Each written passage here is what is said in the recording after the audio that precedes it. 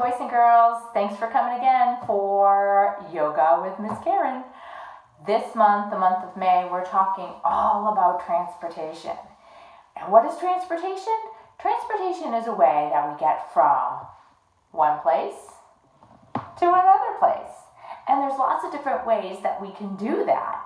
Some things we ride on land, the earth, and other things we ride on the water, and then other things we ride up in the sky in the air. So I used the song Bumpin' Up and Down by Raffi. You might know the tune. I changed the words a whole lot to talk about all the different ways that we can use transportation to get around. We're going to start with things that we ride on land. First thing is a little red wagon.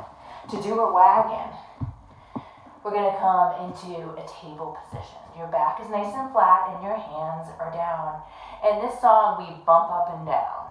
It's called Bumping Up and Down in a Little Red Wagon. That's the name of the song.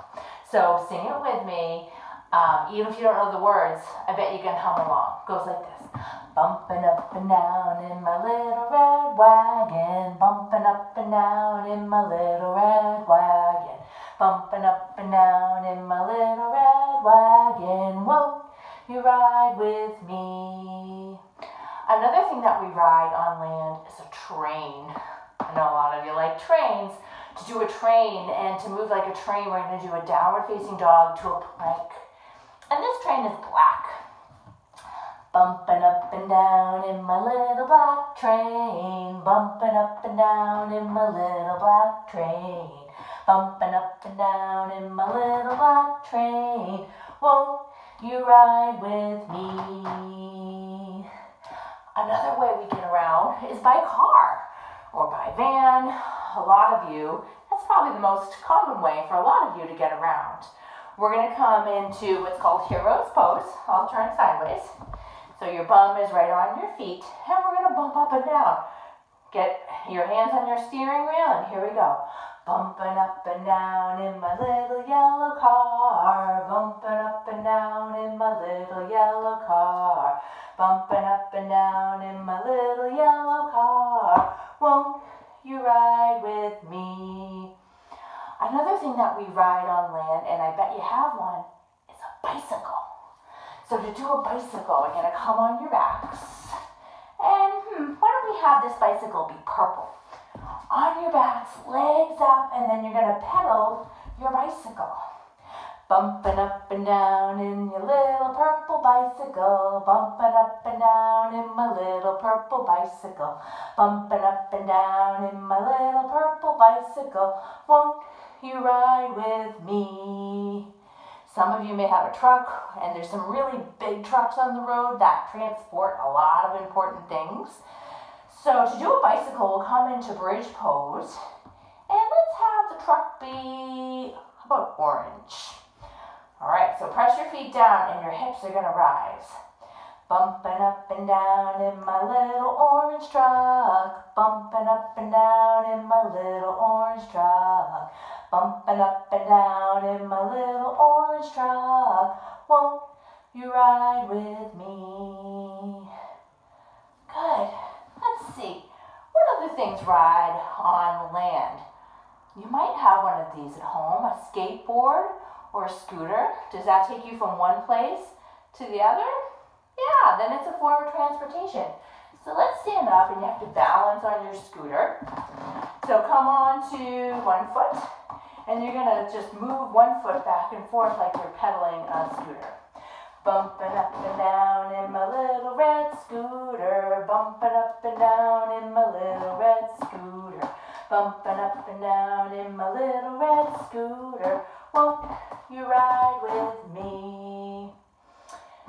And then lastly, our legs, our very own bodies can take us from point A to point B. So if it brings us from one place to another place, it's a form of transportation, and our own bodies can do that. We can walk, we can run, maybe you can even ride a wheelchair. So transportation is also walking. So we'll I'll come sideways. We're just going to lift up our knees. Bumping up and down with my very own body. Bumping up and down with my very own body.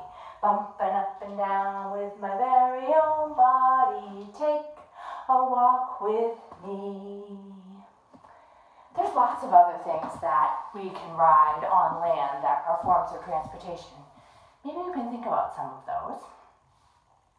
We're going to move on to things that go in the water. So the water can be anything from a river to a lake to an ocean. And there's lots of different things that we can ride on the water. One of the things I thought about was a rowboat or a canoe, things that we have to paddle. All right? So they float on top of the water, rowboats and canoes and things like that. We're going to come with our feet down, our knees bent, and we're going to row.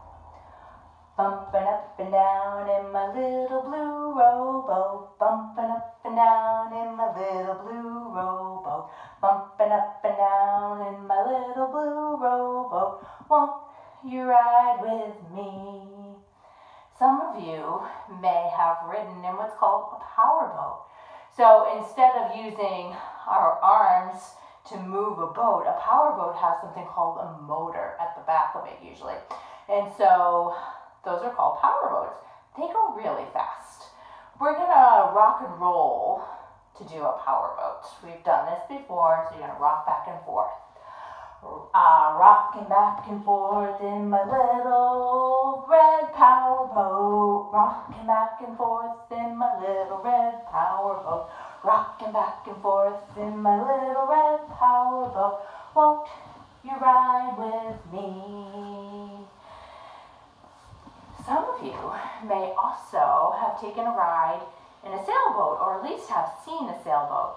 Sailboats what are called sails. They're usually in the shape of a triangle and they are motored by wind. So the wind pushes against the sail and it makes the boat move. Usually the sails are in the shape of a triangle, so I thought we'd do a triangle pose. So I'm going to stand up. One foot is going to come wide, and you can see how my legs are in the shape of a triangle. So let's have this sailboat be, how about white? Bumping up and down in my little white sailboat. Bumping up and down in my little white sailboat. Bumping up and down in my little white sailboat. Won't you ride with me? And again, we can use our own bodies as a form of transportation in the water. We can swim. That's a form of transportation. Remember, don't ever go in the water without your mom or dad watching you. It's not safe. We're to swim. You're to come onto your bellies and put your arms out, legs back, and swim. Swimming through the water with my very own body, swimming through the water with my very own body, swimming through the water with my very own body.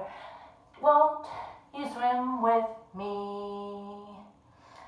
Really nice, everyone. The last way we can get around is by air. So that means we're flying up in the sky. So, hmm, what flies in the sky? How about an airplane? There's a pose in yoga called airplane pose. Stand up. And what do we have our airplane be, how about green?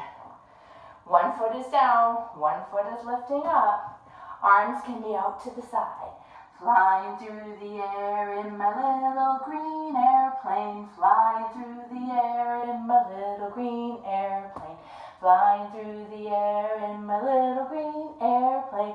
Come and ride with me. You might also see a helicopter in the air. Helicopters have propellers to move and they go around and around. So when we come to goddess pose, so nice and wide with the feet, and then bend your knees and sit down, and you're gonna move your arms side to side like propellers Flying through the air in my little black helicopter. Flying through the air in my little black helicopter. Flying through the air in my little black helicopter. Won't you fly with me? Hmm, what else flies through the air? You may have taken a ride in one of these. Probably not. I never have. But there's something called a hot air balloon. So sometimes, especially in the summer, you can look up in the sky and see hot air balloons.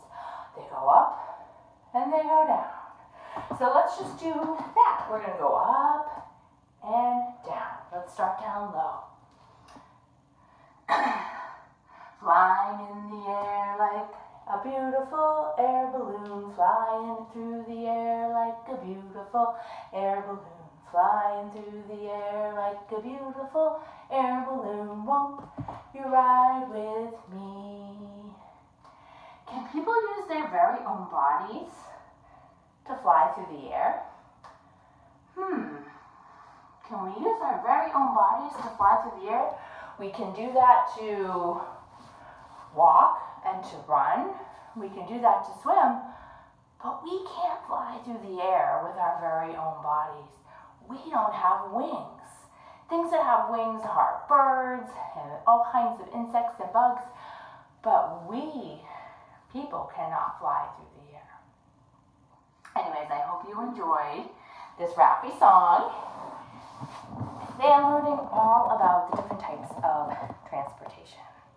Before we say goodbye, we'll take a final breath or two together, sitting in easy pose.